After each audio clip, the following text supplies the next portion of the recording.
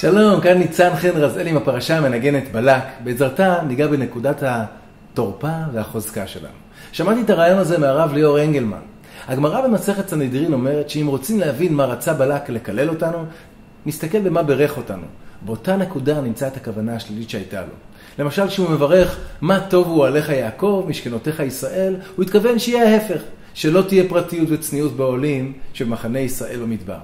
וגם ההפך נכון. רבי צדוק הכהן מלובלין, בספרו צדקת הצדיק, מדבר על אדם שהידרדר מאוד, ואומר שבנקודה הכי קשה לו, שיצרו תוקפו ביותר, ואפילו חטא, דווקא שם אדם יכול וצריך להיות הכי גדול והכי שלם. כלומר, המקום הזה שמסובך לנו כל כך ולא פתור, מראה לנו היכן הייעוד שלנו. קושי גדול ואתגר שמצריך המון כוחות, מסמל לנו שזה המקום המיוחד שלנו לצמוח. דווקא שם זה השליחות שלנו לפעול ולהצליח. אז למה בזירה שבה כל התסבוכות דווקא שם השליחות? אומר הרב אנגלמן, כי במקום הקשה והתקוע שלנו, כמו גם במקום החזק שלנו, אנחנו הולכים עד הסוף, אין אמצע. איפה שאנחנו ממוצעים, לא יפריעו לנו לעשות את הדבר בינוני, על זה לא נתעקש.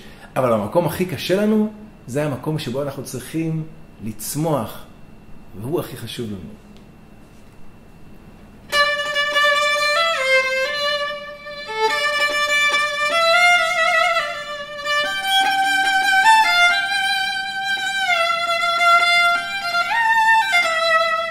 תבדקו את זה למשל בזוגיות.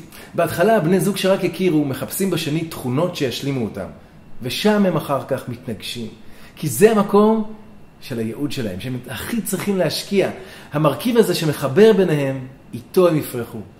אז הנה לנו תרופה במקום התורפה, וזכינו להשיג אפילו עוד ברכה.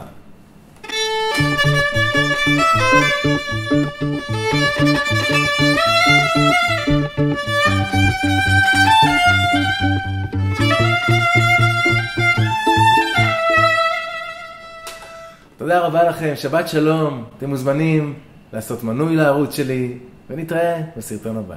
כל טוב.